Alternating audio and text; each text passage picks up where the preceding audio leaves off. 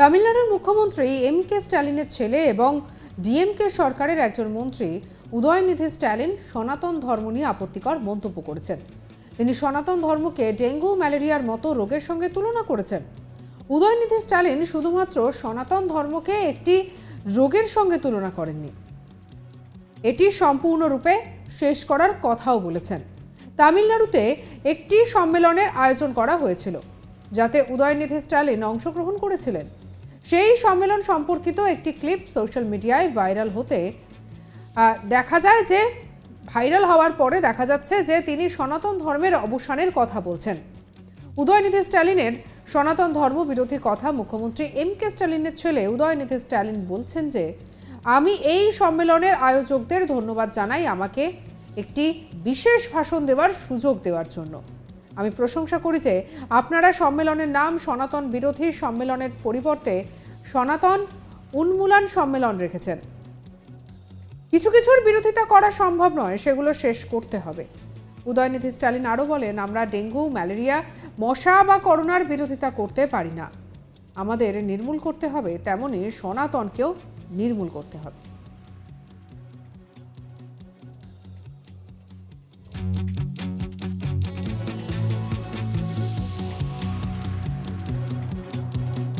তিনি আরও বলেন সনাতনের বিরোধিতা করে তাকে শেষ করা উচিত সনাতন নামটি এসেছে সংস্কৃত থেকে এটি সামাজিক ন্যায় বিচার এবং সাম্যের পরিপন্থী শুনব উদয়নিধি স্ট্যালিন কি বলছেন சனாதன எதிர்ப்பு மாநாடு என்று போடாமல் சனாதன ஒழிப்பு மாநாடு என்றும் நீங்கள் அ- இதை போட்டிருக்கிறீர்கள் இதை அழைத்திருக்கிறீர்கள் இந்த நிகழ்ச்சிக்கு பெயரிட்டீர்கள் அதற்கு என்னுடைய வாழ்த்துக்கள் சிலவற்றை வந்து நாம் ஒழிக்கத்தான் வேண்டும் எதிர்க்க முடியாது கொசு டெங்கு காய்ச்சல் மலேரியா கொரோனா இதையெல்லாம் வந்து நம்ம எதிர்க்கக்கூடாது ஒழித்து கட்ட வேண்டும்.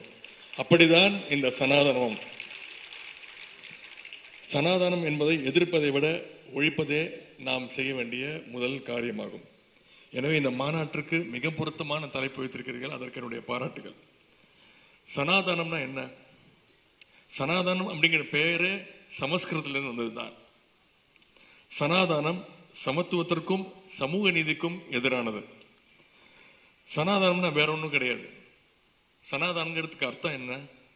நிலையானது. அதாவது மாற்ற முடியாதது. யாரும் கேள்வி கேட்க முடியாது. அப்படிங்கிறது தான் சனாதனத்திற்கு அர்த்தம்.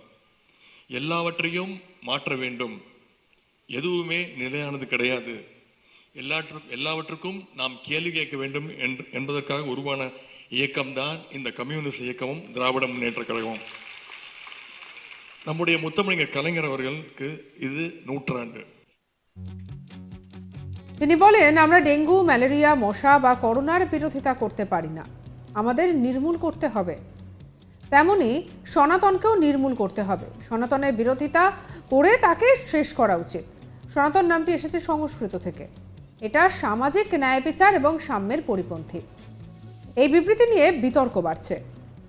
উদয়নিধি টুইটারে একটি পোস্ট করেছেন যে, আমি কখনোই সনাতন ধর্মের অনুসারীদের গণহত্যার আহ্বান করিনি। সনাতন ধর্ম এমন একটি নীতি যা মানুষকে জাতি এবং ধর্মের নামে বিভক্ত করে।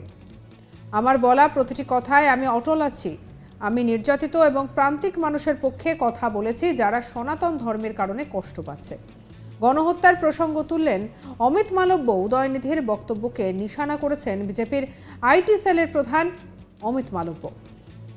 তিনি বলেছেন, উদয়নিধি স্ট্যালিন দেশের আশি শতাংশ জনসংখ্যাকে গণহত্যার ডাক দিয়েছেন। অমিত মালব্য আরও বলেছেন,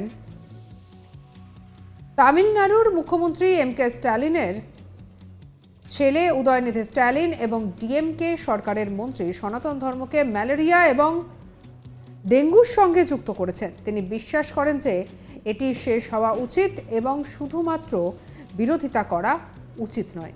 সংক্ষেপে তিনি ভারতের জনসংখ্যার আশি শতাংশ যারা সনাতন ধর্ম অনুসরণ করেন, তাদের গণহত্যার আহ্বান করেছেন।